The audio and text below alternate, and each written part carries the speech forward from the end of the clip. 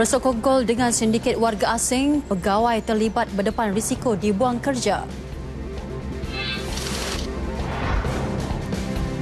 Ringgit dijangka lebih kukuh pada suku pertama tahun depan.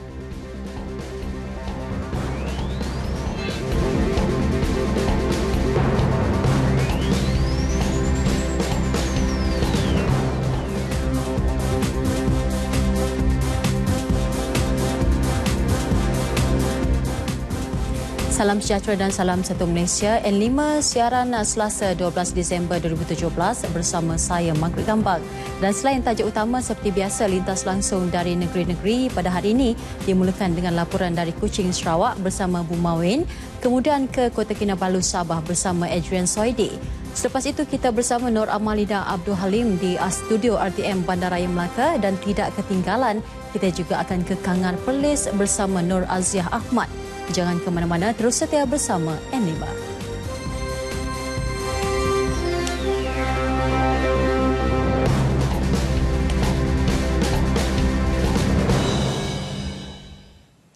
Tiada kompromi terhadap mereka yang bersekongkol dengan sindiket penyeludupan warga asing dan menyebabkan pintu masuk negara dibolosi.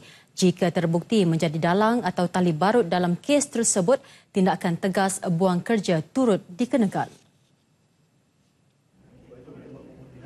Perkara itu ditegaskan Ketua Pengarah Imigresen Datuk Seri Mustafar Ali mengulas penahanan beberapa orang pegawainya berhubung isu pembolosan warga negara asing khususnya warga Bangladesh melalui sindiket terancang di lapangan terbang antarabangsa KLIA. Kita bersama-sama dengan pihak polis bekerjasama dalam soal pembolosan bukan sahaja oleh kalau misalnya ada isu dalaman kita ambil tindakan tegas itu saya sebut tanpa kompromi sama juga terhadap dalang-dalang di luar itu disebutkan dalam media itu ada empat orang di Bangla tetapi sebenarnya ada lagi orang yang kita sedang sebuah semakan Beliau bercakap dalam sidang media selepas berucap pada Majlis Perhimpunan Bulanan Jabatan Imigresen di Putrajaya. Tambahnya, susulan kes tersebut, satu pasukan khas telah dihantar ke Dhaka, Bangladesh pada Ahad lalu untuk melakukan semakan berkaitan di negara berkenaan. Khamis lalu, sebuah akhbar tempatan mendedahkan buruh haram warga Bangladesh diseludup masuk ke negara ini melalui KLIA setiap hari diuruskan empat sindiket besar beroperasi di Kuala Lumpur dan Dhaka. Pada majlis sama, Datuk Seri Mustafar turut memberitahu bermula 1 Januari tahun depan, majikan boleh mendapatkan permit khas membantu rumah asing terus daripada Jabatan Imigresen melalui sistem dalam talian tanpa melibatkan orang tengah. Proses permohonan sistem dalam talian itu dijangka mengambil masa selewat-lewatnya 16 hari. Yang imigresen lakukan Sebelum ini, majikan terpaksa mengeluarkan kos antara RM10,000 hingga RM12,000. Namun dengan permohonan secara dalam talian ini, jelas Datuk Seri Mustafar ia hanya melibatkan bayaran antara RM3,500 hingga RM4,000 sahaja. Dua hari kelulusan. Tetapi oleh kerana FOMEMA yang memerlukan semakan kesihatan, kita sebut ya kita tak mampu kompromi tentang elemen-elemen keselamatan.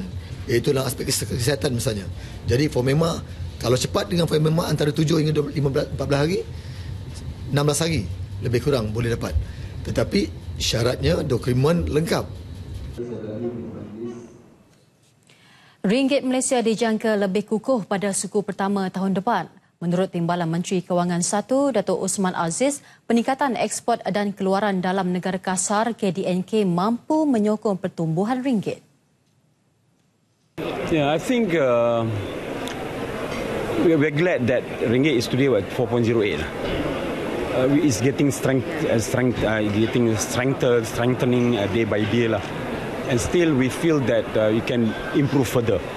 You know, based on our fundamental, uh, like our KDNK, our what we call uh, KDNK in English is uh, GDP. Our GDP, our exports, and all that. Is and then the the, the uh, oil prices is also stabilizing. So these are the things that uh, uh, that makes us, uh, I think. Uh, that's why the third quarter of 2017 we, we showed 6.2% growth. So uh, these are all the combinations of uh, various uh, what you call contributors, uh, contributing factors that goes to the, the GDPs. Setakat ini beliau gembira dengan pertumbuhan ringgit. Namun begitu, perubahan prestasi ringgit bergantung kepada faktor luaran termasuk kadar faedah. Beliau berkata demikian selepas ucap tama Simposium Tahunan Kewangan Islam kali ketiga. Simposium yang berlangsung selama dua hari itu merupakan platform bagi peserta tempatan dan luar negara dari sektor awam dan swasta untuk membincangkan pandangan mengenai kewangan Islam dan peranannya dalam menyokong dan mencapai matlamat pembangunan lestari. Lebuh Raya Senai Desaru SDE akan dinaik taraf daripada dua lorong kepada empat lorong. Ia bagi merancangkan lagi aktiviti ekonomi di kawasan Pengerang, khususnya projek Kompleks Petroleum Bersepadu Pengerang PIPC. Menteri, Menteri Kerja Raya Datuk Seri Fadilah Yusof berkata kerja naik taraf itu melibatkan laluan 26 km dari susur keluar tol Cahaya Baru di Masai menuju ke tol Bandar Penawar Kota Tinggi. Tender projek naik taraf ini akan dibuka tahun hadapan. Dan insyaAllah akan ditenderkan untuk naik taraf uh, Jalan Desaru uh, highway itu yang yang uh, Sinai Desaru yang dua lorong menjadi empat uh, lorong dua hala. Uh, jadi insyaAllah perkara ini akan uh, ditender tahun depan. Jadi dengan itu keseluruhan kawasan penggerang ini uh, dari segi jalan jaringan jalan rayanya insyaAllah akan dapat kita siapkan dan diharapkan dengan ini akan dapat uh, meningkatkan aktiviti khususnya uh, ekonomi dan akhirnya akan memberi uh, impak pada sosial ekonomi rakyat setempat. Lebuh Raya SDE yang dibuka kepada pengguna sejak Jun 2011 menghubungkan Senai ke Bandar Penawar Kota Tinggi sepanjang 77 km. Kerja naik taraf Lebuh Raya SDE disusuli dengan pembinaan empat fasa jalan FT092 bernilai 1.86 bilion ringgit seterusnya memberi kemudahan kepada penduduk setempat. Beliau berkata demikian kepada pemberita selepas merasmikan fasa pertama Jalan Baharu FT092 ke pusat latihan rekrut Pularek di Pengerang. Pembinaan jalan baru sepanjang 14 km bakal memberi manfaat kepada 20,000 penduduk dan pemain industri di kawasan Pengerang. Sempena sidang kemuncak tahunan bagi pengkomersialan Malaysia MCY, Kementerian Sains, Teknologi dan Inovasi mesti meraihkan sumbangan bakat-bakat tempatan kepada pertumbuhan ekonomi negara menjelang tahun 2050. Anugerah MCY itu disampaikan oleh Perdana Menteri Datuk Seri Najib Tun Razak di Pusat Konvensyen Kuala Lumpur. Perdana Menteri menyampaikan enam anugerah iaitu Anugerah Ulung MCY, Anugerah Urus Niaga Komersial, Anugerah Penyelidikan dan Perkongsian Perniagaan, Anugerah Usahawan Penyelidik, Anugerah Inovator Baharu dan Anugerah Usahawan Sosial. Techcoms dari Universiti Pertahanan Malaysia UPNM memenangi hadiah keseluruhan menerusi Anugerah Ulung MCY bernilai RM100,000 dan Anugerah Usahawan Penyelidik bernilai RM130,000 command, control, communication dan coordination. So benda ni technically mana anggota dia? Mat, kena kena depan ni. So tiap anggota ni dia dia set up dia macam ni, dia akan ada satu klien dekat sini di mana dia akan sync dekat yang smart glass ni dan also dekat tangan dia ni. So commander boleh tengok kedudukan anggota dia kat mana atas map dan dia boleh bagi, bagi tahu nak pergi mana. Ada kita boleh hantar video, gambar, uh, suara, maksudnya boleh ganti radio semua.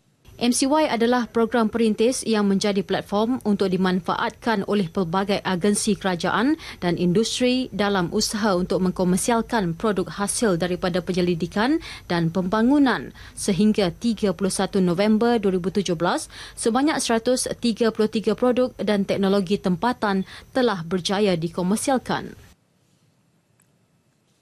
Pada majlis sama, Perdana Menteri melancarkan buku yang menelusuri kerancakan teknologi dan inovasi berjudul Komunikasi Sains Tulus Integriti Demi Kesejahteraan Masyarakat.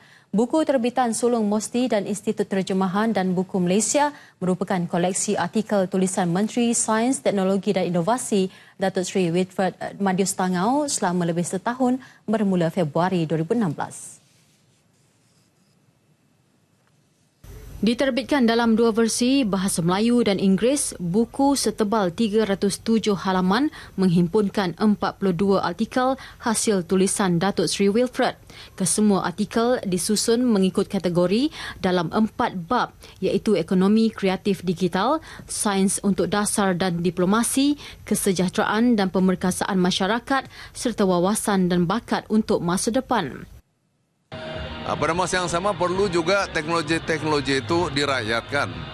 Pada masa yang sama kita juga perlu penyelidikan supaya kita dapat menghasilkan teknologi. Ya. Dan pada masa yang sama kita juga perlu berinovasi untuk menyelesaikan masalah. Ya. Ada masalah, very practical problem, sama ada kemasyarakatan, masalah ekonomi dan sebagainya. Kita boleh gunakan teknologi untuk berinovasi, menyelesaikan masalah. Ya, jadi sebenarnya itulah yang kita telah kongsikan dalam buku ini. Buku yang mencakupi pelbagai aspek sesuai dijadikan garis panduan pembangunan demi masa hadapan rakyat selaras dengan inisiatif Transformasi Nasional 2050. Tempoh tahanan reman ke atas seorang pegawai kanan polis di Perak serta isteri dan seorang ahli perniagaan wanita dilanjutkan empat hari bagi membantu siasatan berhubung kes rasuah dan salah laku. Permohonan lanjutan tempoh reman ke atas pegawai lelaki berpangkat Assistant Commissioner Polis SCP serta dua wanita itu dikemukakan Timbalan Pendakwa Raya Suruhanjaya Pencegahan Rasuah Malaysia SPRM Nurul Wahida Jalaluddin.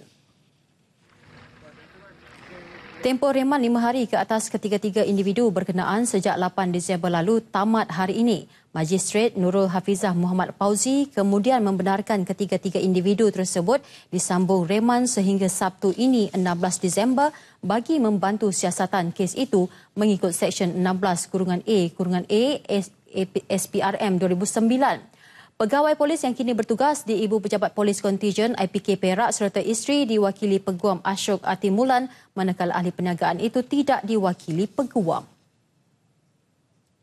Dua lelaki warga tempatan dan seorang wanita warga Vietnam ditahan di sebuah hotel di Jalan Mengkibul, Keluang Johor kira-kira 12.05 minit tengah malam tadi kerana memiliki senjata dan dadah. Ketua Polis Daerah Keluang SAP Muhammad Laham berkata Kedua-dua suspek lelaki bekerja sendiri dan berasal dari Johor Baru. Hasil pemeriksaan di bilik hotel, polis menemui sebuah beg galas berisi sebuah buku lima manakala pemeriksaan di badan suspek lelaki menemui dua bungkusan dadah disyaki syabu.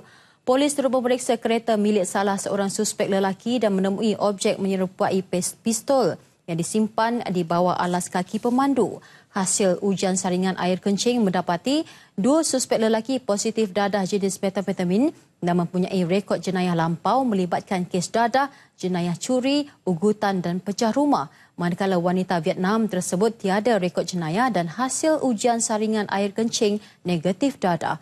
Kesemua suspek berusia 33 hingga 34 tahun itu dibawa ke Ibu Pejabat Polis Daerah Keluang dan direman empat hari bermula hari ini hingga Jumaat kes disiasat mengikut Seksyen 36 Kurungan 1 Akta Senjata Api 1960, Seksyen 6 Bahan-bahan kakisan, letupan dan senjata berbahaya 1958, Seksyen 6 Kurungan 1 Akta Immigration 1959-63 dan Akta Dadah Berbahaya 1952.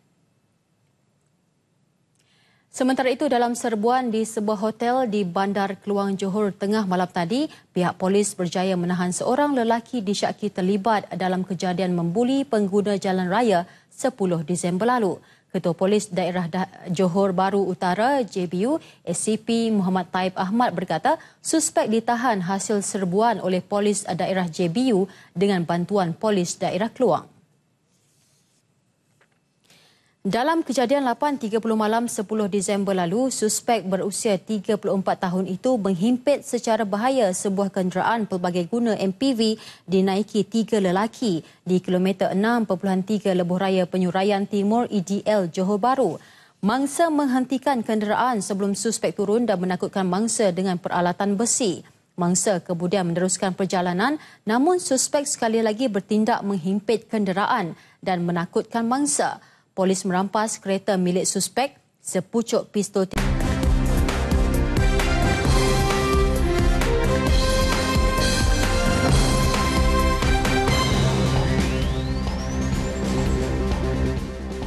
Bersokong gol dengan sindiket warga asing, pegawai terlibat berdepan risiko dibuang kerja. Ringgit dijangka lebih kukuh pada suku pertama tahun depan.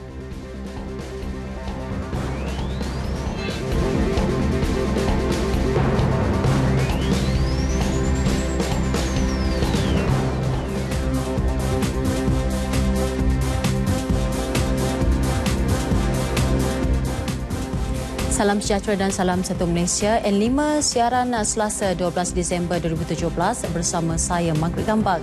Dan selain tajuk utama seperti biasa lintas langsung dari negeri-negeri pada hari ini dimulakan dengan laporan dari Kuching Sarawak bersama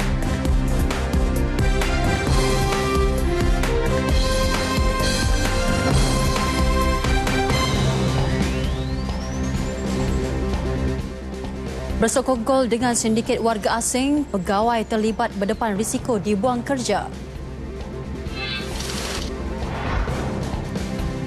Ringgit dijangka lebih kukuh pada suku pertama tahun depan.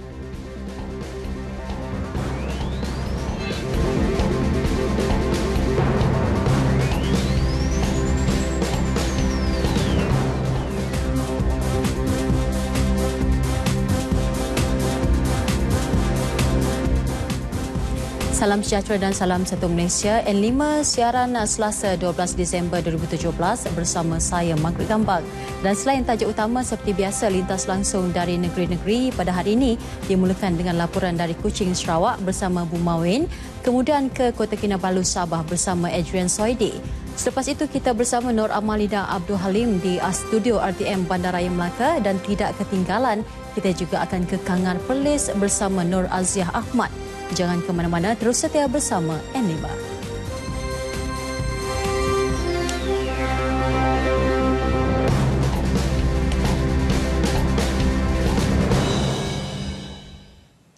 Tiada kompromi terhadap mereka yang bersekongkol dengan sindiket penyeludupan warga asing dan menyebabkan pintu masuk negara dibolosi.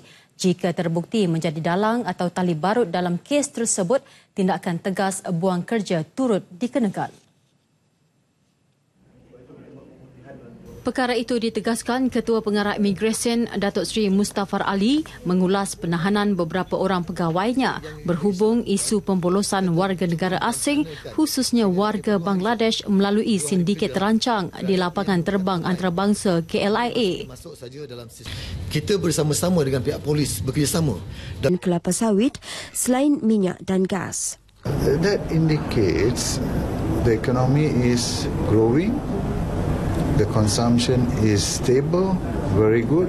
Yeah, uh, that's why I, sometimes I don't understand when people say that economy is not doing well. But one of the indicator.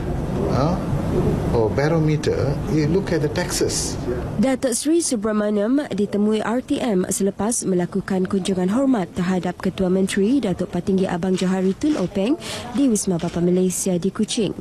Tambahnya dalam pertemuan itu, beliau turut memaklumkan kepada Ketua Menteri bahawa JKDM bersedia membantu kerajaan negeri untuk memberi taklimat mengenai GST kepada orang awam bagi meningkatkan lagi kesedaran tentang GST. Dalam perkembangan lain, Datuk Seri Subramaniam memberitahu JKDM akan mencari penyelesaian strategik bagi menambah baik urusan kastam di Kompleks Kastam, Imigresen dan Kuarantin CIQ di Sungai Tujuh di Miri. Beliau berkata pihaknya akan berbincang dengan Jabatan Imigresen bagi memperhalusi urusan berkenaan di antara Sarawak dan Brunei Darussalam. Hopefully dalam beberapa bulan ini, uh, kita boleh selesaikan isu Sungai Tujuh tetapi kita perlu bincang dengan pihak imigresen sekali ya. Ha, kita tak boleh buat uh, ketetapan sendiri kemudian dia buat lain nanti masalah Menurut Datuk Seri Subramaniam, urusan berkaitan kasam di CIQ Sungai Tujuh merupakan antara isu yang diketengahkan oleh Datuk Patinggi Abang Johari pada perjumpaan yang berlangsung lebih setengah jam itu. Antara masalah yang dihadapi JKDM ialah kekurangan pegawai bertugas di CIQ berkenaan. Jentera Parti Pesaka Bumi Putera Bersatu PBB di peringkat cawangan diminta menggembleng tenaga bagi memastikan kemenangan besar Barisan Nasional pada pilihan raya umum PRU ke-14 nanti. Ahli Dewan Undangan Negeri Mulu Datuk Gerawat Gala berkata antara cabaran besar yang perlu dihadapi adalah meningkatkan keahlian PBB cawangan Mulu daripada jumlah 4,200 ahli sedia ada. Katanya ini juga termasuk sasaran untuk meningkatkan pengundi berdaftar di Mulu daripada 8,600 pengundi kepada 10,000 pengundi pada pilihan raya akan datang. Beliau berkata demikian bersempena mesyuarat perwakilan cawangan parti PBB, cawangan Marudi dan Mulu sesi 2017-2020 di Miri. Justru katanya jentera parti di lapangan perlu diperkukuh dengan merancang dan menganjurkan program melibatkan ahli parti, anggota parti komponen dan komuniti di sekeliling mereka untuk memberi kesan positif kepada masyarakat. Jelas beliau kesepakatan dan kesepaduan yang dibudayakan di dalam PBB menjadikan PBB parti yang kuat sekaligus membolehkannya mempertahankan kedudukan sebagai tulang belakang BN di Sarawak dan komponen kedua terbesar BN di peringkat kebangsaan. Penubuhan Yayasan Pencegahan Jenayah Malaysia YPJM Sarawak diharap dapat meningkatkan lagi kesedaran orang ramai bahawa pencegahan jenayah adalah tanggungjawab bersama. Pengurusi YPJM Cawangan Sarawak Dr. Anwar Rapai memberitahu yayasan yang terdiri daripada pihak polis, ketua masyarakat, ketua kaum dan jabatan pendidikan akan menjadi platform kepada mereka berbincang dan mengemukakan masalah berkaitan jenayah.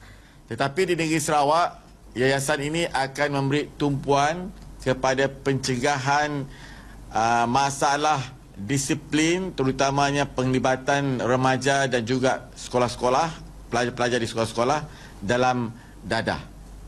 Jadi kita akan menjalankan program yang berbentuk uh, fokus. Yayasan itu akan mengadakan program-program kesedaran untuk mengurangkan masalah disiplin dan penyalahgunaan dadah di sekolah-sekolah. Tambahnya, YPJM Sarawak dikerah untuk menubuhkan cawangan yayasan itu di setiap 28 buah ibu pejabat polis daerah IPD di seluruh negeri. Namun, tumpuan utama penubuhan pada masa ini adalah di bandar-bandar besar iaitu Miri, Limbang, Sibu, Bintulu, Betong dan Kuching. Dr. Anwar memberitahu demikian pada sidang media penubuhan jawatan kuasa YPJM Sarawak Cawangan Sibu di IPD Sibu. Persatuan Petong Negeri Sarawak PEPSAR sedang melakukan pemilihan atlet petong bagi mewakili Sarawak dalam Sukan Malaysia Sukma Perak 2018. Untuk itu, atlet bayangan skuad Sukma telah dipilih semasa pertandingan petang di Bintulu pada 9 hingga 10 hari bulan lepas di Klub Kidurong Bintulu. Ditemui pada majlis penutupan pertandingan itu, Setiausaha Kehormat Pepsa, Jainuddin Abdul Rahman, memaklumkan pemenang setiap kategori yang dipertanding dipilih sebagai skuad bayangan Sukma dan kita akan membuat uh, pemilihan terakhir untuk memastikan semua atlet uh, akan mewakili negeri Sarawak uh, untuk Sukma Perak 2018 pada Januari 2018 di mana uh, Johan dalam pertandingan bayangan ini akan uh, bertemu dengan uh, Johan-Johan dalam uh, pertandingan suksa iaitu Sukan Sarawak dan atlet elit. Pada pertandingan itu, beliau turut mengumumkan senarai atlet petang Sukan Sarawak, Suksa, yang mewakili zon utara iaitu Limbang, Miri dan Bintulu. Sebanyak 10 pasukan melibatkan lebih 100 peserta mengambil bahagian dalam pertandingan tersebut. Menyentuh mengenai pencapaian atlet petang Sarawak, Jainuddin memaklumkan terdapat tiga atlet petang Sarawak terpilih mewakili Malaysia dalam dua siri kejohanan peringkat ASEAN dan antarabangsa. Baik, setakat ini dahulu berita dari Sarawak untuk N5 petang ini. Untuk berita seterusnya, kembali kepada Margaret di Angkasa Puri. Silakan. Baik, terima kasih Buma dengan laporan itu tadi. Seterusnya, kita ke Sabah pula bersama dengan Adrian Soidi. Adrian, teruskan.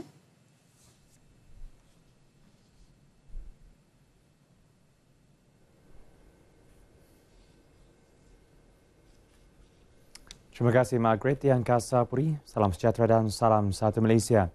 Berita dari Sabah petang ini dimulakan dengan perkembangan banjir di Kota Belud.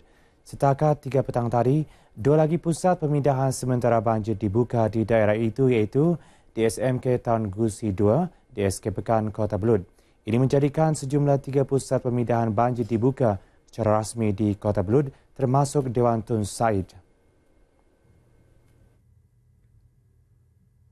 Menurut Pegawai Daerah Kota Belut, Abdul Gari Itam, pusat pemindahan di Dewan Tun Said kini menempatkan kira-kira 200 penduduk terjejas banjir melibatkan 87 ketua keluarga dari 26 kampung dan 300 orang di SMK Taun Gusi 2 manakala jumlah penduduk terjejas yang ditempatkan di SK Pekan Kota Belut masih dalam proses pengemaskinian. Kalau dibandingkan dengan banjir yang berlaku pada bulan Oktober yang lalu, uh, ini lebih buruklah. Apa saya katakan begitu, uh, dia datang secara mengejut dan dia naik secara mendadak. Dan uh, dan ada beberapa tempat tempat itu kita dapati air cukup deras lah. Abdul Gari yang juga pengurusi Pusat Operasi Bencana Daerah Kota Belut ditemui pemberita RTM di Pusat Pemindahan Sementara Dewan Tun Said Kota Belut. Ketika ini, paras bacaan air di Sungai Kadamayan berada pada paras normal iaitu 1.13 meter, Sungai Tempasuk 5 meter pada paras waspada dan Sungai Abai pada paras bahaya iaitu 5.71 meter. Selain pemantauan berkala, aset-aset berkaitan turut dipersiap bagi tujuan menyelamat penduduk terjejas. Sementara itu, penduduk terjejas banjir di Pusat Pemindahan Sementara Dewan Tun Said menzahirkan rasa syukur dan terima kasih atas usaha menyelamat semua pihak terlibat.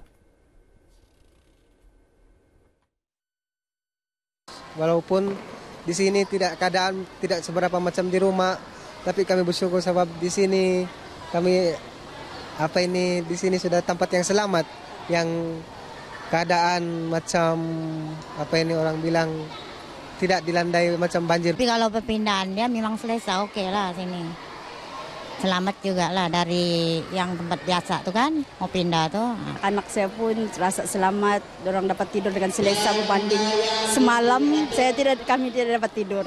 Pikir tu air deras. Uh, Penduduk terjejas di pusat pemindahan turut menerima sumbangan berupa makanan dan minuman serta keperluan asas lain dari agensi kerajaan, NGO dan masyarakat sekitar Kota Belut. Di Tuaran, sembilan kampung terjejas banjir iaitu Kampung Bunga, Suang Bangau, Tenggilan, Rongolis, Topokan Tinambak, Kesusu, Kionsom Topokan, Kampung Pitas dan Pekan Tenggilan.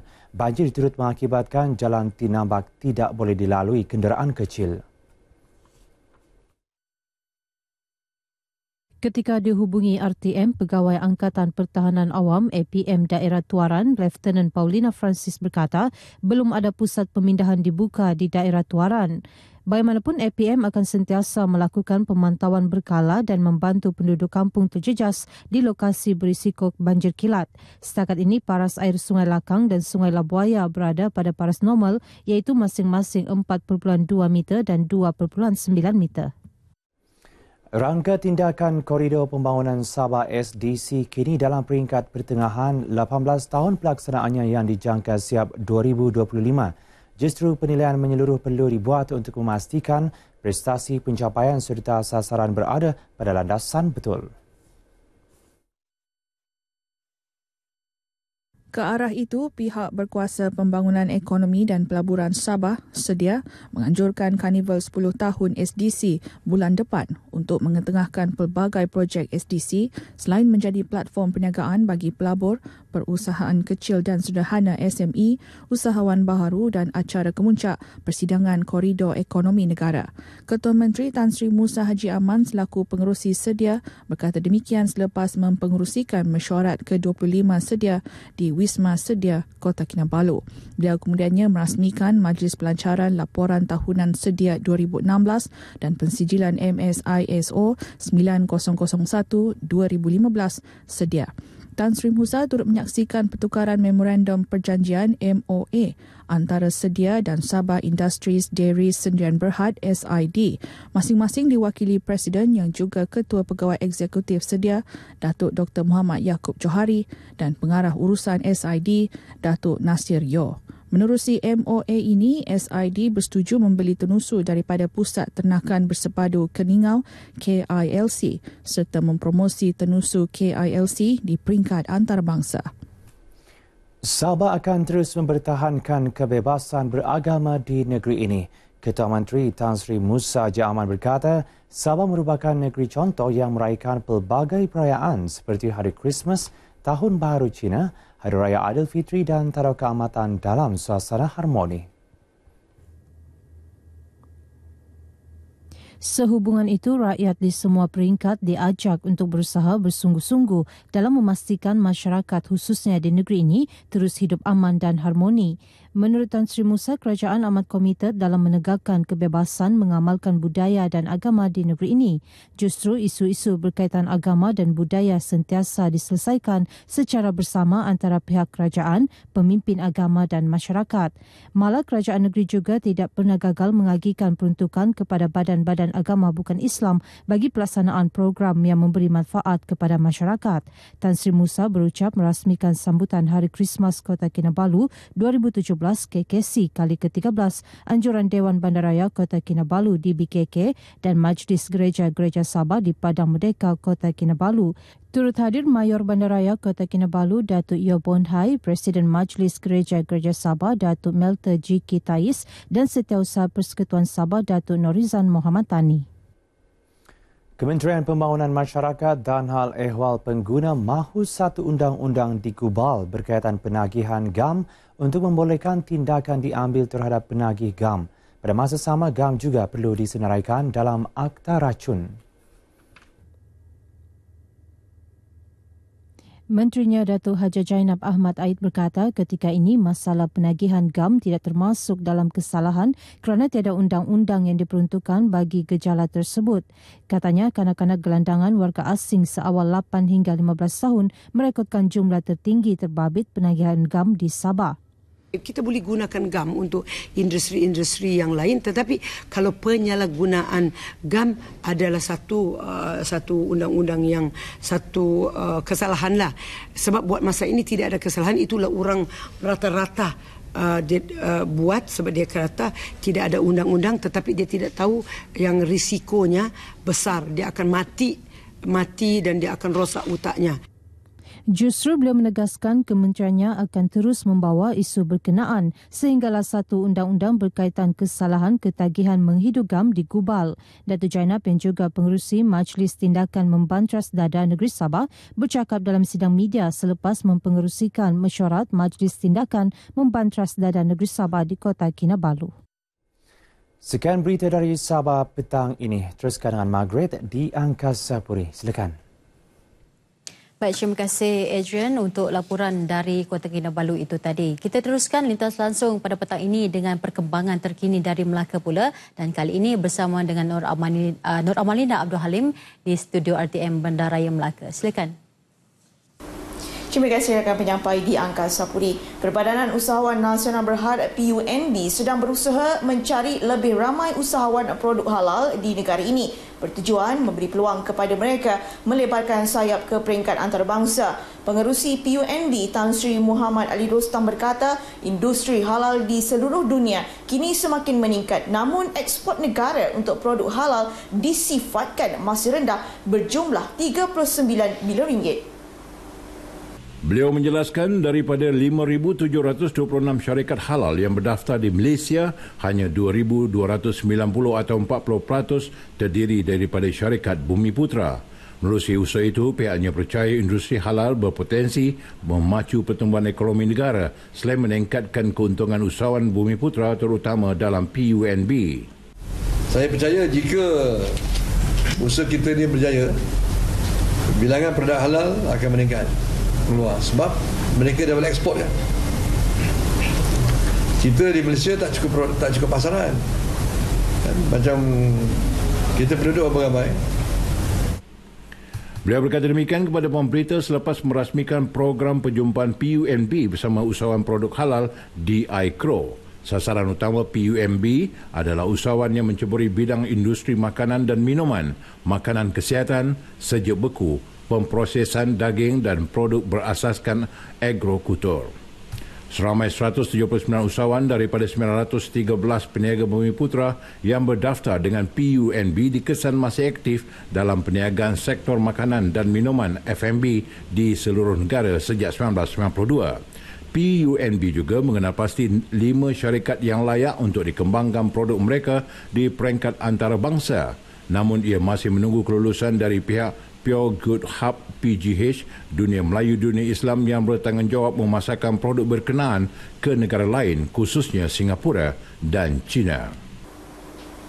Kira-kira 430 pelajar kurang berkemampuan dari sekitar Parlimen Masjid Tanah menerima bantuan persekolahan bagi sesi persekolahan 2018. Setiap pelajar menerima peralatan sekolah termasuk beg, kasut dan baju sekolah berjumlah RM200 seorang.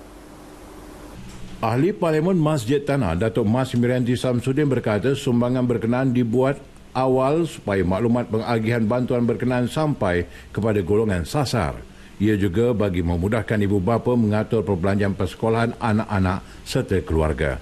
Sumbangan berkenaan diharap dapat meringankan beban ibu bapa menjelang sesi persekolahan kelak. Memang uh, sengaja memilih tutup saja sekolah dan kita berikan supaya satu maklumat sampai dan supaya mereka ibu bapa tidak dapat um, apa tidak membuat uh, persiapan selalunya kita buat hujung kan so ibu bapa dah berikan sudah sebagainya dan kita buat awal supaya uh, sekurang-kurangnya mereka dapat mengatur uh, perbelanjaan untuk perbelanjaan yang lain. Beliau ditemui selepas menyampaikan bantuan persekolahan kepada pelajar kurang berkemampuan sekitar Parlimen Masjid Tanah di Masjid Tanah. Sementara itu, rata-rata penerima mengucapkan syukur dan terima kasih kepada pihak kerajaan yang prihatin terhadap nasib mereka. Perasaan gembira lah sebab uh, dapat bebankan, kurangkan beban saya sikit lah. Uh, saya berterima kasih lah pada yang memberi sumbangan ni yang dapat meringankan beban saya untuk anak sekolah. Bukan sekadar mentadbir negeri, malah barisan kepimpinan kerajaan negeri Melaka juga mempunyai bakat terpendam dalam bidang lakonan, nyanyian dan tarian. Ini terbukti apabila Yang di-Pertua Negeri Tuan Dr. Muhammad Khalil Yaakob Ketua Menteri Datuk Seri Idris Harun, Barisan Esko Kerajaan Negeri serta ketua-ketua jabatan berkongsi pentas bagi menjayakan persembahan teater musikal secebis kisah Melaka Gemilang zaman Alauddin. Pementasan istimewa sempena hari jadi Tun Dr. Muhammad Khalil Yaakob ke-79 di Kompleks Jabatan Kebudayaan dan Kesenian Melaka Aikro itu dituntun seramai seribu orang menggabungkan seni tari, muzik dan lakonan yang digarap bersandarkan pemerintahan zaman Kesultanan Alauddin Riwayat Shah. Teater musikal yang berlangsung selama tiga jam itu mempunyai tiga segmen iaitu Pelabuhan, Pasar dan Balai Santapan. Menurut Setiausaha Kerajaan Negeri, Datuk Seri Naim Abu Bakar, persembahan berkenaan merupakan produk SUK Production. Sebenarnya uh, idea yang telah dilontarkan oleh Tun ialah sambil kita bekerja itu Negeri Melaka ni sebahagian negeri pelancongan kami kita juga mempunyai bakat-bakat yang terpendam terutamanya di kalangan contohnya Tun sendiri Yang Amat Ketua Menteri dan isteri begitu juga di kalangan uh, ahli exco Penonton yang ditemui pula berharap pementasan seperti itu dapat diteruskan di masa akan datang. Uh, bangga uh, kerana dapat pemimpin yang uh, secara spontan untuk uh, untuk rakyat negeri Melaka. Uh, daripada apa yang saya belajar hari ini, saya dapat uh, mengenal lagi uh, sejarah-sejarah Melaka yang saya tak, tak pernah mengetahui. Turut menjayakan persembahan musikal berkenaan ialah Sabri Yunus. Sekian saja paparan berita dari Melaka. Kembali kepada rakan penyampai di Angkasa Puri untuk berita seterusnya. Baik, terima kasih Amalina dengan laporan dari Melaka. Sekarang kita berlintas langsung pula ke negeri di utara Semenanjung, di Perlis. Dan untuk berita terkini dari sana, kita terus saja bersama Nur Aziah Ahmad yang telah bersedia di studio RTM Kangar. Silakan.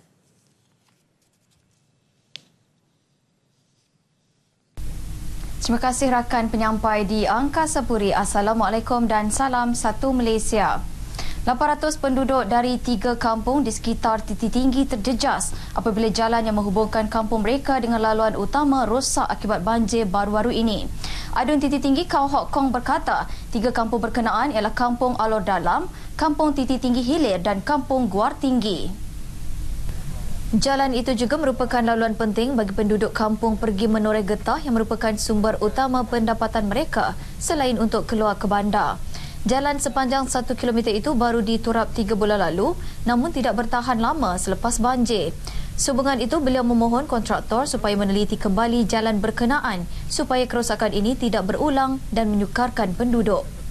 Kawasan ini selalu ayat yang akan banjir dan walaupun penduduk dia uh, duduk di luar sikit dan tak ada kena ada yang kena ada yang tak terkena ayat lah macam tu lah dan kawasan ni merupakan jalan untuk mereka pergi kerja untuk mengurai getah lah dan mereka nak angkat uh, getah-getah scrap ni perlulah kereta masuk atau motor-motor masuk. Beliau berkata demikian kepada RTM selepas melakukan tinjauan jalan rosak di sekitar kawasan Titi Tinggi dan Padang Besar.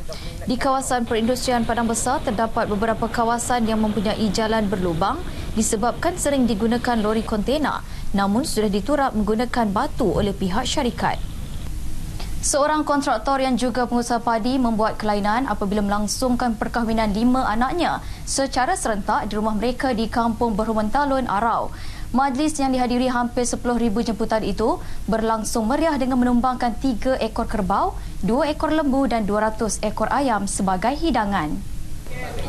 Menurut Taib Zakaria, majlis perkahwinan anaknya dilangsungkan secara kebetulan apabila lima anaknya bernikah dalam masa tiga bulan sebelum kesemua mereka bersetuju mengadakan majlis secara serentak. Ia bukan sahaja melakar sejarah manis buat keluarga beliau dan isteri Siti Aisyah Syafi'i tetapi juga penduduk kampung apabila melibatkan pasangan pengantin paling ramai pernah diadakan. Yang timbul hadiah sekali ini jadi kata dah semua-semua yang tak sepakat yang boleh cuti pada hujung tahun dan yang kerja-kerja ni kan. Ha, jadi kita jadikan satu masa saja. Salah seorang pengantin Muhammad Izwan yang bekerja sendiri melahirkan rasa syukur kerana majlis tersebut berlangsung meriah dan berjalan lancar. Beliau dan adik-beradik berpakat menyerahkan wang kepada ayah mereka untuk menguruskan majlis perkahwinan tersebut. Bila dah dekat-dekat tadi tu, kita buat sekali, kemudian muak cakap, dah sekali, ala-ala nak buat sekali, belanja pun kita hmm, kita lebihkan sikit lah, tak apalah. Lepas tu, pakat-pakat semua. Setuju? Setuju lah. Raja Muda Perlis Tuanku Said Fazudin Putra Jamal Lail bertitah supaya persahabatan antara media Perlis dan Thailand perlu terus diperkukuh. Sehubungan itu, baginda bertitah kedua-dua pihak perlu untuk terus berhubung, peka dan saling membantu dalam menyalurkan berita dengan lebih pantas, tepat dan positif terutama yang melibatkan kepentingan isu sempadan, kemanusiaan, keganasan dan antarabangsa. Menjadi keutamaan ialah maklumat itu harus sentiasa memberi kesan atau impak positif terhadap masyarakat dalam memperkukuh kerjasama dan hubungan dua hala di antara Malaysia dan Thailand. Walaupun terdapat perbezaan dari sudut bahasa dan budaya, namun tidak menjadi penghalang jika kedua-dua media saling berhubungan dan bersedia menulis laporan yang benar dan bersifat membina. Baginda bertitah demikian semasa menerima kunjungan hormat 43 ahli Southern Peace Media Club SPMC dari wilayah selatan Thailand di galeri di Raja Arau. Tuan Kusai Fazudin juga berkenan bersantap tengah hari bersama rombongan berkenaan dalam majlis yang dianjurkan Kelab Media Perlis, Camps dan pejabat duli Yang Maha Mulia Tuanku Raja Perlis. Turut hadir Presiden Camps, Syahidi Syahidan dan Setiausaha Agong Pusat Pentadbiran Wilayah Sempadan Selatan SPPAC, Supanat Sirun Tawinati dan Timbalan Presiden SPMC Ripi Mama. Delegasi Media Selatan Thailand turut berkunjung ke Kedah dan Perak selama tiga hari dalam usaha memperkukuh hubungan media antara kedua-dua belah pihak. Laporan itu menutup perkembangan dari Perlis kembali semula ke Angkasa Puri untuk laporan N5 seterusnya. Assalamualaikum dan salam satu Malaysia. Baik, terima kasih Nur Azia untuk perkembangan dari Kangar Perlis. Berita seterusnya, PAS menyokong penuh segala tindakan kerajaan Malaysia berhubung isu Baitul Maqdis. Presiden PAS Datuk Seri Abdul Hadi Awang yang juga timbalan Ketua Kesatuan Ulama Muslimin Sedunia berharap Perdana Menteri Datuk Seri Najib Tun Razak yang mengetuai delegasi Malaysia ke sidang kemuncak luar biasa Pertubuhan Kerjasama Islam OIC di Istanbul, Turki dapat menyampaikan mesej negara ke arah menyelesaikan isu tersebut. Dan memang kita mahu supaya Perdana Menteri pergi sendiri. Dia menyampaikan mesej negara kita dan kenyataan Menteri Pertahanan Malaysia uh, Tan Sri Syamuddin uh, menyatakan bahawa Malaysia bersedia untuk uh, melaksanakan keputusan walaupun melibatkan ketenteraan Malaysia bagi menyelesaikan masalah Baitul Maqdis. Ketika ditemui media di luar sidang Dewan Undangan Negeri di Kuala Terengganu, Datuk Sri Hadi yang juga Adun Ru Rendang berkata, rakyat Malaysia tanpa mengira parti dan agama perlu sepakat berhubung isu Baitul Maqdis. Ada bantahan dibuat di pihak mereka dan macam himpunan bersama walaupun petahnya berlainan tetapi tujuannya bersama. Yang penting ialah tujuan bersama walaupun petahnya berlainan. Itu yang penting. Jangan kita belaga itu sudah. Ayat menyatukan uh, bukan sahaja uh, PAH dan UMNO termasuk kalangan bukan Islam yang peka dalam isu ini. Penting untuk mengatur pelarian Rohingya di Malaysia agar tidak menimbulkan masalah sosial sekaligus membantu mencari jalan penyelesaian kepada permasalahan mereka di negara ini. Itu antara fokus perbincangan yang diutarakan dalam program Makmal Kemanusiaan 1.0 Rohingya. Program merupakan kerjasama antara Pusat Rohingya ASEAN ARC dan Mercy Malaysia diadakan untuk kali pertama di ibu negara bekas Duta Khas OIC ke Myanmar, Tan Sri Said Hamid Albar berkata, permasalahan pelarian Rohingya perlu ditangani agar tidak berlaku masalah sosial di kemudian hari. Dia nak mengaturkan yang ada kat sini. Kalau tak terancang, kita tak dapat guna dia. Dan dia menjadi masalah sosial, masalah jenayah kat dalam negara kita tak guna. Dan mereka adalah tenaga muda.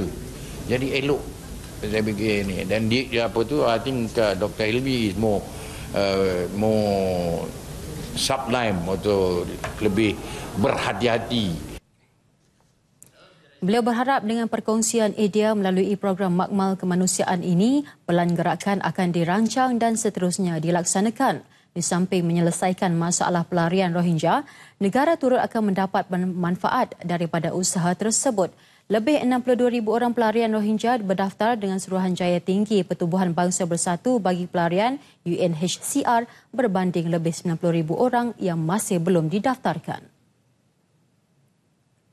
Perkembangan pasca banjir Kelantan. Lebih 60 petani di kampung Takang Bacok mengalami kerugian kira-kira RM350,000 apabila padi yang hampir dituai musnah dilanda banjir baru-baru ini. Pengerusi Jawatan Kuasa Kemajuan dan Keselamatan Kampung Persekutuan JKKKP berkenaan Muhammad Nur Abdullah yang juga petani terlibat berkata sebanyak 70 hektar kawasan sawah milik petani terlibat dengan 300 tan beras sepatutnya dapat dituai. Namun akhir November lalu, hujan yang turun selama 10 hari menyebabkan padi yang telah masak musnah. Apabila jadi tenggelam air gini, kamu bagi pihak Semua CJKP kapal takan ni minta sumbangan daripada kajian lah batu supaya anak mungkin petani-petani kapal takan ni supaya boleh sambung semula awak padi untuk uh, membantu petani-petani supaya maju ke depan. Penanaman padi merupakan punca pendapatan utama penduduk dan keadaan yang berlaku menjejaskan pendapatan mereka. Padi bu, selang lalu. Bawa masuk. Oh, tak, tak ada ambil tak ada. Sepatutnya kita ambil bila? Patut tu, oh, dalam hujan tu. Oh, patut dia. Kalau jeluar dia patut dalam hujan tu, patut. Tapi tu, duk hujan tu selalu kan? Oh, tak boleh. Eh? Tahu. Nak bayar pada ni, apa galau dengan gapo tak tahu. hmm, ha, tahu lah. Hmm, agak-agak lah minta lah batu eh, sikit-sikit. Masalah learning, separuh daripada hak tiga ekar tu, hancur lah. Pasal tak ada, tak ada mesej. Oh. Maknanya padi mati dah. Oh, padi mati dah. Sepatutnya ambil dah. Tapi masa kita buat hak lain itu, tiba-tiba hujan. Jadi kena berhenti ya. Sementara itu, pengurus besar KADA ketika dihubungi Muhammad Rizwan Ismail memaklumkan anggaran nilai kerugian sektor padi akibat banjir melanda Kelantan baru-baru ini berjumlah 41.37 juta ringgit membabitkan 942 pesawah dengan keluasan tanah 7,661 hektar. Pihaknya mengambil laporan di setiap jajahan dan mengemukakan kepada Kementerian Pertanian dan Industri Asas Tani Malaysia. Semua jabatan dan agensi di bawah Kementerian Komunikasi dan Multimedia KKMM perlu bergerak sebagai satu pasukan yang besar dan kuat dalam melaksanakan program Rakyat Jiwa Negara Rajin Menurut Timbalan Ketua Setiausaha Dasar KKMM, Syakib Ahmad Syakir, Rajin merupakan satu program turun padang di bawah KKMM bagi memberi penjelasan kepada rakyat mengenai usaha kerajaan yang dilaksanakan selama ini. Jelas Syakib Rajin mempunyai tiga komponen iaitu Solidariti Negaraku, Katalista Industri Kreatif dan Memecut Ekonomi Digital. Idea kewujudan rajin dicetuskan Ketua Setiausaha KKMM Tan Sri Dr. Sharifah Zara Syed Ahmad bagi memberi penerangan dan pada masa sama merapatkan silaturahim di antara kerajaan dan rakyat. Ia juga merupakan kesinambungan kepada Pelan Strategik Komunikasi dan Multimedia CMB 2018-2025 dan memberi lebih tumpuan terhadap isu kesejahteraan rakyat. Penerangan pada mereka bahawa rakyat ialah nadi sesebuah negara ya. Roh sesebuah negara itu adalah pada rakyatnya. Dan kita nak kalau jika kita nak buat negara itu sejahtera maka kita kena sejahtera sejahterakan rakyat dulu. Jadi apa yang telah dilaksanakan oleh kerajaan selama ini bertumpu pada itu. Matlamat rajin adalah memastikan rakyat dapat mengecapai nikmat keamanan dan kemakmuran negara. Hasil tersebut melalui apa yang dilakukan kerajaan selama ini iaitu memberi kesejahteraan kepada rakyat, membangunkan ekonomi negara dan menjamin keselamatan rakyat. Syakib menyatakannya selepas Majlis Perhimpunan Bulanan Hello KKMM 3.0 bertemakan inovasi nadi transformasi di Putrajaya. Program Rajin secara tidak langsung dapat memberi sokongan terhadap program-program lain yang dijalankan jabatan dan agensi-agensi lain.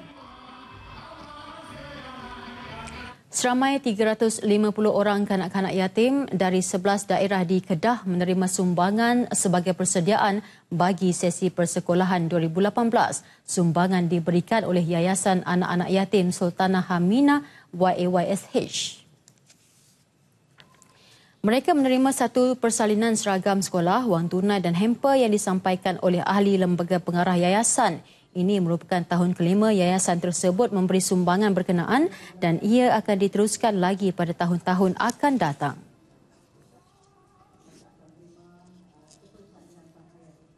Dan insyaAllah kita pun harap akan uh, akan lebih ya. Tahun depan kita akan lebih lebih lagi bagi sumbangan kepada anak. Berterusan insyaallah Yayasan itu berharap pelbagai pihak tampil menyalurkan dana untuk diagihkan kepada asnaf. Beliau ditemui RTM selepas majlis sumbangan tersebut di Alustar. Datuk Rosli turut mengumumkan pengurus besar yayasan sebelum ini, Halimah Abdul Hamid telah meletakkan jawatannya mulai 2 Julai lepas. Pihak berkenaan yang ingin menyalurkan dana boleh menghubungi 0473033132.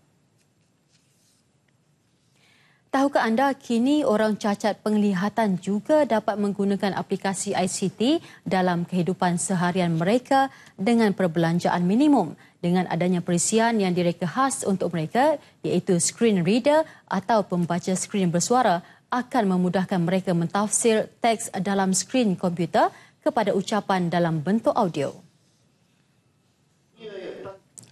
Selain itu, Optical Character Recognition merupakan satu aplikasi yang digunakan untuk mengimbas teks ucapan kepada audio.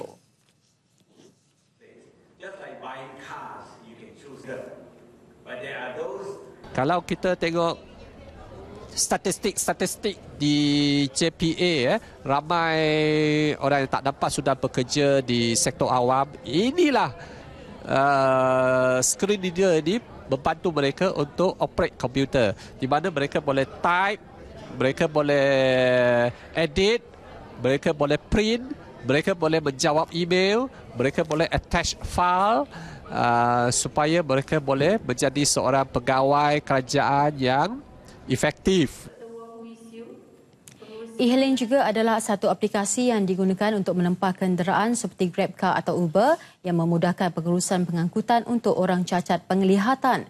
E-pembelajaran pula adalah satu proses pembelajaran atas talian dengan peserta mempunyai kemudahan mikrofiliat antara yang lain menyemak jadual, keputusan serta kemudahan e-perpustakaan.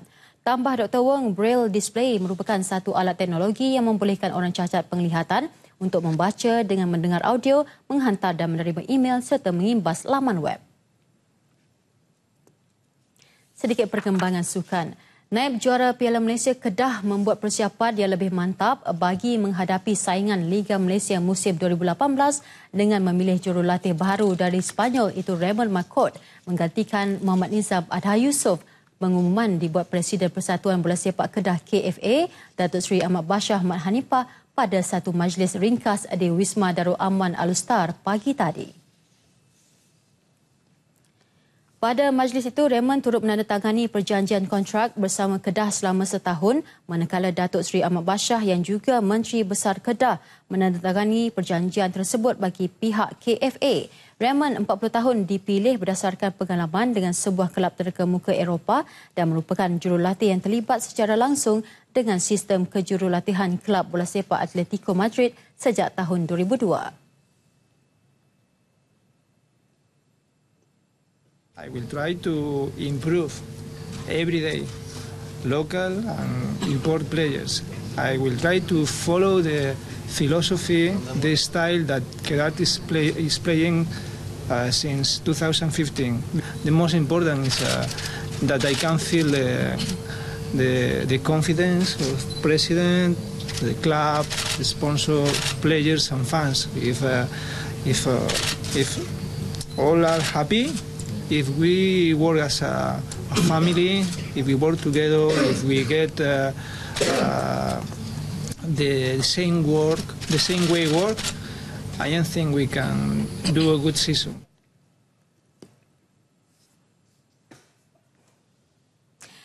Baik, bagi mengikuti laporan cuaca, kita bersama dengan Wan Muhammad Hafiz di Jabatan Meteorologi Malaysia. Silakan.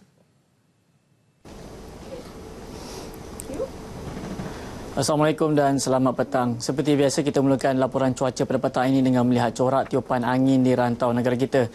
Dan pada petang ini kita masih lagi menerima pengaruh angin daripada arah timur laut merentasi semenanjung Malaysia dan beralih arah menghala ke negeri Sabah dan Sarawak dengan kelajuan yang agak sederhana sekitar 20 hingga 30 km sejam. Berikutan angin di kawasan Laut Cina Selatan semakin melemah. Jabatan Meteorologi Malaysia telah menamatkan amaran angin kencang seterak bergelora sebelum ini dan dengan mengekalkan di bahagian Kondor, Reef North dan juga Palawan dengan menurun taraf daripada kategori kedua kepada kategori pertama yang mana angin masih lagi boleh bertiup dengan agak kencang sekitar 40 hingga 50 km sejam dan ketinggian ombak boleh mencecah 3.5 meter dan keadaan ini adalah berbahaya kepada bobok kecil serta sukan dan rekreasi laut. Amaran ini berkuat kuasa sehingga ke 14 Disember 2017. Seterusnya kita beralih ke paparan gemerada untuk melihat keadaan cuaca semasa. Dan dapat diperhatikan pada ketika ini hujan berserta ribut petir nampaknya sedang berlaku dan lebih tertumpu di negeri Perak, negeri Sembilan, Johor, di negeri Pahang, begitu juga di negeri Selangor dan keadaan lembap ini dijangkakan boleh berlarutan sehingga ke awal malam nanti. Seterusnya kita beralih ke negeri Sabah dan Sarawak.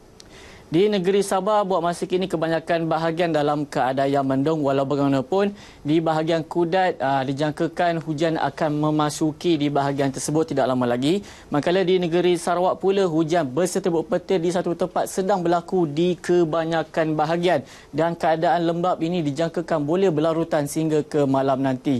Dan bagi memudahkan segala urusan dan perjalanan para penonton pada malam ini, kami bawakan anda ramalan cuaca bagi bandar-bandar utama di seluruh Malaysia. Sekian daripada Jabatan Meteorologi Malaysia, saya Wan Hafiz. Assalamualaikum.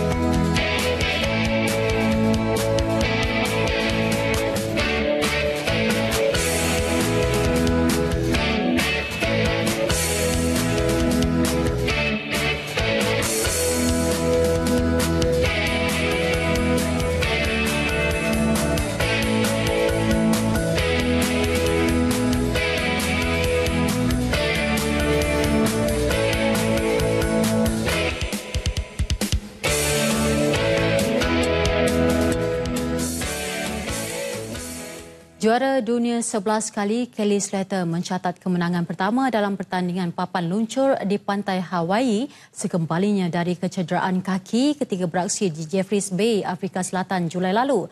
Slater menang saringan pembukaan mengalahkan Juan Duru dari Perancis dan seorang lagi peserta Amerika Syarikat Kolohi Andino untuk terus memasuki pusingan ketiga. Bagaimanapun juara bertahan yang memakai jersey pendahulu kuning John John Florence mendahului peserta lain dalam usaha terus menduduki tahta.